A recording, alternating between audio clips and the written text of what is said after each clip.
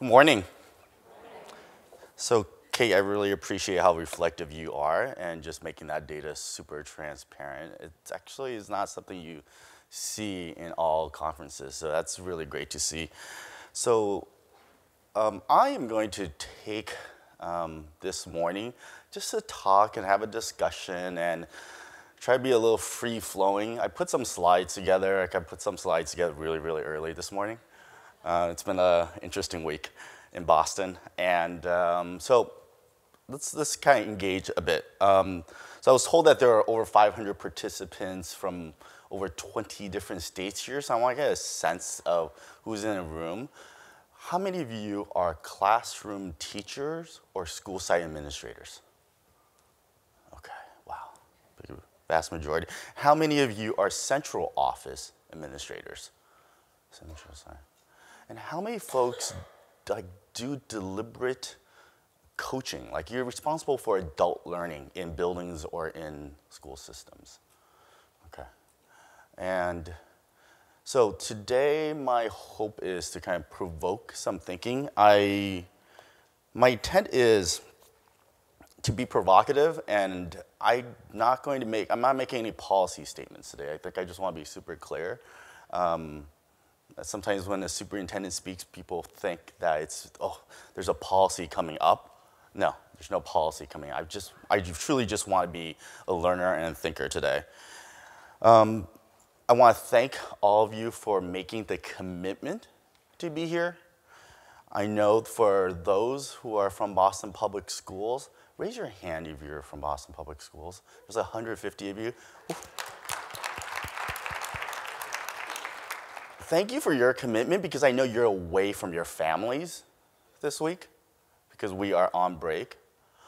Uh, for those coming from other parts of the country, I hope Boston has treated you well. Um, I know Kate was probably keeping her fingers crossed that we didn't have any crazy weather, and it's been pretty non-eventful. But two weeks ago, I called my first snow day. It's my first experience, and be instantly became the most popular superintendent among kids.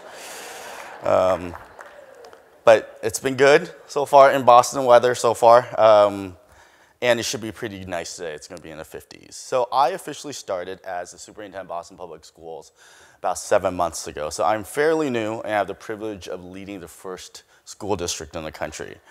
And um, we're just honored that Boston is holding, uh, hosting this event. Hopefully um, you guys will return. So here's what we're going to do in the next 15 to 20 minutes. Uh, I'm going to start with the why. Um, I'm going to move to the how, and I'm going to talk about a few whats, and that's kind of Simon Sinek's thing, right? Um, and I'm going to end also with a kind of a personal story and go back to the why. Um, again, I'm going to ask for permission to be a bit provocative. I, I, hear you've had some other speakers that have been provocative, so maybe uh, I really don't need to be asking for permission all that much. So let's see. So I know Kate began this conference by sharing some data and grounding us in the urgency of our work. And for me as a leader, I remind myself every single morning when I wake up why we, I do this work. And I do, we do this work, all of us do this work, because ultimately is about, it's, it's about kids' lives. It's about it's not just about closing achievement gaps. It's guaranteeing that kids have the opportunity to be successful, meet their potential in college, career, and life. And so I know that some of this data was shared with you earlier, but I, I took a look at the slide deck that Kate shared with you, and it's, it's shocking. Like a data point like that where students living in circumstances of poverty by third grade, if they are not reading, are 13 times more likely to not graduate from high school. And then I know you saw this, and I'm thinking 1979. My brother was born in 1979. He's 36 years old. And this is what's happened to our country in the last 36 years. Like, we can't, we can't afford to ever have a child be disengaged from the learning process. And this is data from Boston, and folks haven't seen this, but this piece of data came from an Annenberg report a couple of years ago. And there's so much, it was such a rich data set. It's about black and Latino boys and their achievement in Boston public schools. I just pulled out one slide. This talks about suspension rates. And if you do some math and you divide 2.9 divided by 0.1, that's, I believe that's 29, right? So 20, so black elementary boys are 29 times more likely to be suspended than a black elementary school boy. That's shocking. I mean, when we look at high school, I guess it gets better. It's, it's only a nine times difference, 900%, 900% difference. But we're not, kids aren't dropping out, they're being pushed out. But this data isn't just, I mean, it's not just Boston data. If you look across large urban school districts, you see the same sort of things. And the reason for these mm, figures are myriad. We, we I don't want to pretend that as teachers and administrators that we have all the solutions, and, but we're not powerless, right? We, we have immense influence in the lives of young kids when they are in our schools and when they are in our classrooms. Now, let's get into the how. So, we talk in Boston about cognitively demanding tasks and how we want kids being involved in CDTs. But I think teaching itself is cognitively demanding, especially teaching in 2016 when we're trying to meet the needs of such diverse learners in our classrooms. We design, teachers design, they implement curriculum experiences in order to deepen and develop student understanding. We're coaching for understanding rather than act as those who dispense information we create instructional goals. We figure out methodology, materials, assessments that work for every single child, not one size fits all approach. It's, it's hard work. It's cognitive demanding. And hopefully this week your brains are hurting. Like you have had to really work your brains. But I also think teaching is highly political. Right? Folks always ask me, why would you do the job of a superintendent? It's so political. I'm like, when I mess up and I say the wrong thing to a press, I may get some flack for it. But as teachers, when there are 15 students with their hands raised saying, I know the answer, you have to make a decision on one child who answers, that's a political statement you're making. And when there is a student that's distracted or maybe even being defiant, you have to make a choice whether to engage or disengage that child. That's a very political statement. What piece of literature you have your child, or do you have your students read? And how you even give a grade. What grade does a child get? Those are very political decisions. I think they're far more high stakes than decisions I have to make. I'm to go get back to the grading piece in a bit. So given the high stakes nature of our jobs, and because teaching is so cognitively demanding, it's so political, I'm going to make an argument that we actually have to be far more prepared and invest far more time off stage than on stage. of course, everybody here in Boston knows who that is. I learned very early on you never say anything bad about Tom Brady. and literally no matter what the question is that comes to you from a reporter, they may ask you how you're going to close achievement gaps. All you have to say is Tom Brady has all the answers. Tom Brady does no wrong. Tom Brady was framed, and it's a perfect answer for everything. But we know that off stage, a lot of work happens. So like these professions that require far more off stage work than on stage work includes athletes, musicians. right? But in teaching, I was just sharing with the group back there, I think in teaching, we, at least in this country, we, our education system isn't designed in a way to actually allow adults teachers and administrators and coaches the time they need to do the offstage work, especially now. Agree?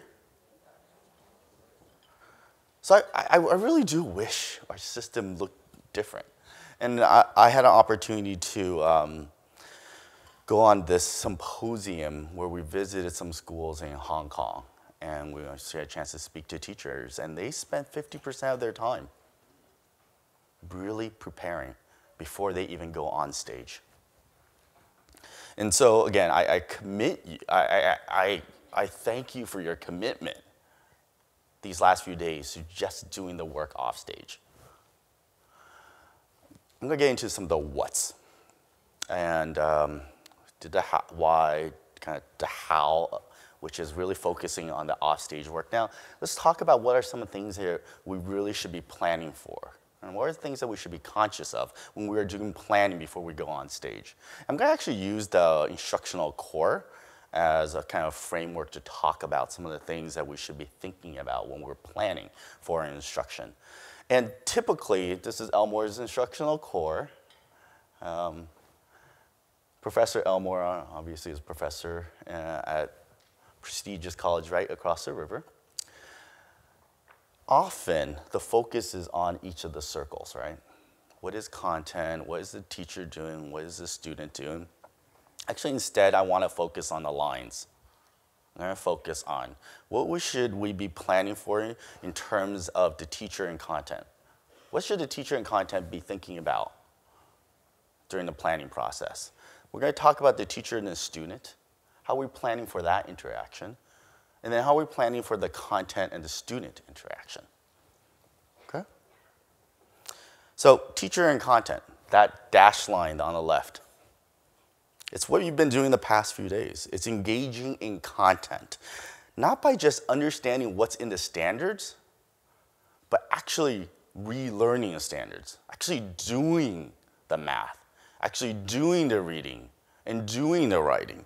I actually remember the, our visit in New York a few years ago, and you were telling, Kate was telling me about kind of the path that they had taken in the development of professional developments that they, they were creating in New York. And one thing really resonated with me, and it's, um, and I kind of remember this um, me, tell me if I got this uh, right or wrong.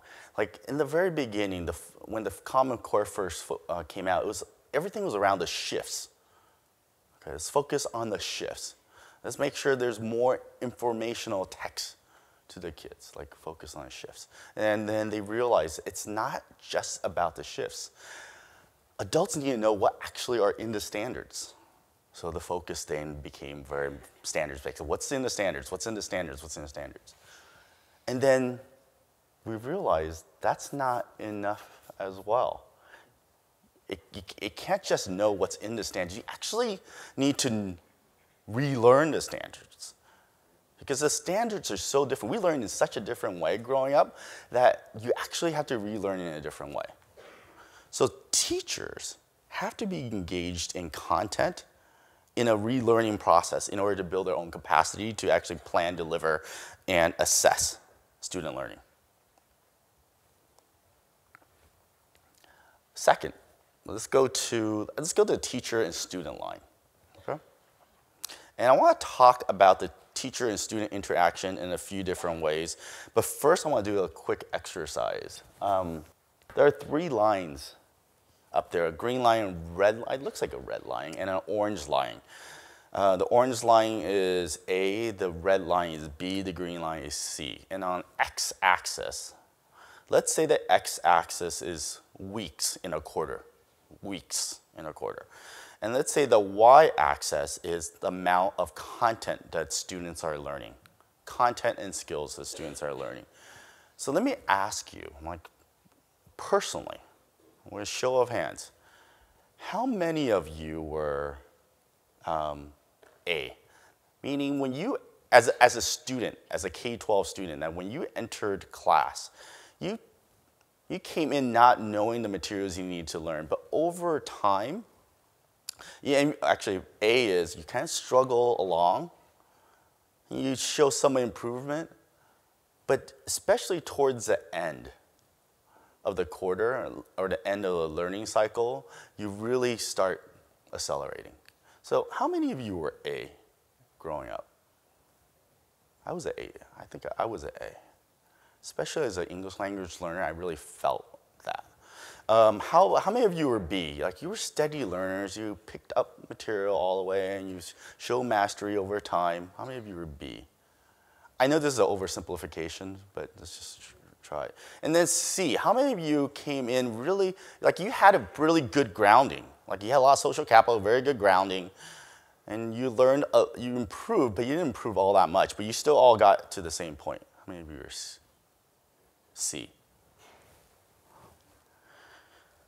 I know earlier this week um, there was a discussion about growth mindset and fixed mindset learner. If you were a teacher, now go back, now put yourself back in your kind of teacher frame. If you're a teacher and you had class, you had students that in your classroom that show that learning trajectory. Some students came in with little content knowledge, others came in much more, but they all ended up mastering what they should have learned is did you create a fixed mindset or a growth mindset classroom? Obviously, a growth mindset classroom. I'm going to ask you just turn to a partner really quickly. What is something you deliberately do as a teacher in your interaction with a student to create a classroom like that? I'm going to give folks two minutes. Just turn to a partner. Thank you. I, I, didn't even set that norm at the beginning. It still works. It's great. Um, I'm sure all of you in your minds and were able to articulate one thing that you do in a classroom to be super deliberate about creating that growth mindset environment. But I'm curious, how often do you as a teacher and you as administrator um, actually plan for those moments? Actually deliberately plan to make sure that you are doing what you are doing in order to create that environment. I'm going to give some thoughts about some things you could, some things that you can plan for. I think it's really important, especially with a Common Core, that you don't plan for just your very first question. The very, the very first question is easy. Like that's how you engage students. Like you engage students by asking a question and somebody will answer and it'll be great and you move on. I ask you to actually plan for the second question. That's actually empowering the kids. That's the difference between engaging and empowering. Plan for that second question. A second thing is really hone in um, on struggle. So when students are in classrooms and you as a teacher and you're in your interaction with a student, don't be so quick to course correct. Like, let them struggle and watch them struggle and ask them. Be ready to ask them. Tell me about how you're thinking through this problem. But you have to plan for that. You have to plan for those interactions. And then the number, th- the third thing, and this might, this is kind of going into this policy space. I'm not going to policy space, but I'm going to go back to this graph up here. We're going to start with um, C, the green line. If this was a Algebra 1 classroom, that student that is a green line, who thinks that student should, just, I know it's oversimplifying, but who thinks that student should get an A? A at the end of the year, uh, quarter. Who thinks that student should get A? The green line. Who thinks that student should get a B? Who thinks that student should get a C? Okay? Let's get to B, this orange line. Who thinks that student should get an A? Who thinks, that student should get a B? Who thinks that student should get a C? How about the bottom line, the orange line. Who thinks that student should get an A? Who thinks that student should get a B? Who thinks that student should get a C? Okay, and about two thirds of the room did not vote, but that's okay because I'm going to ask you to go engage in a two minute conversation and we're going to do the same thing again. So engage a two minute conversation this time with your entire table. Um, let's, let's try that again. This, let's start with A again on the bottom, the orange line on the bottom. Who thinks that student should get an A? Who thinks that student should get a B? Who thinks that student should get a C? Okay, let's go with the red line A. More hands, B, C. Okay, and then let's green line A, B, C. I think interesting enough, like the more people participated, from my observation, and more folks seem to have voted that all three students should get an A. Now, I know that's arbitrary and it's oversimplification, but if you've created a growth mindset classroom and all kids are learning and they're learning at different paces, but they all get at the same place at the end, shouldn't they all get an A? And so, like, just a bit of advice in thinking about this to planning for this teacher-student interaction, give feedback, not grades. I just stop grading. Give feedback. Just give feedback. I know you're, uh-huh, my administrators will not very allow. I gotta get two grades in the system once a week. Yeah, yes, yes. Um, but I think it just really, I think this speaks to that grades are our kind of some is our way of exerting power over students. And we think that grades will motivate students, and I think it does. It does motivate some students. But grading could also really disempower students. And actually, I was at this conference, I wasn't really a conference, a small group conversation recently at Microsoft. And Microsoft has been working with this school district in the Northwest. And they took a look at they took the, uh, the, school district's data and they looked at 49 in different indicators. So they looked at poverty of students, they looked at um, uh, uh, they looked at uh, ethnicity, they looked at gender, they looked at what elementary schools they went to, and they wanted to take a look at what had the strongest correlation with dropouts in that particular district. You know what it was? Of all the indicators, it was specific grades given in specific classrooms in the district that had the strongest correlation to dropouts. Above poverty, above ethnicity, fascinating, fascinating. Um, last one. Uh, oh, we talked about that. Um, let's go back and talk about the last line, the last line, which is the student and content line. And so um, I got sent that uh, Clint Smith spoken word video yesterday evening, and I watched it, blew my mind.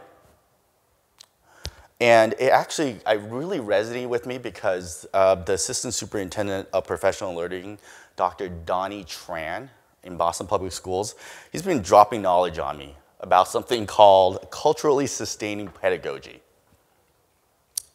culturally sustaining, not culturally relevant, culturally sustaining. It means to perpetuate and foster, to sustain linguistic, literate, cultural pluralism as part of our democratic project of schooling.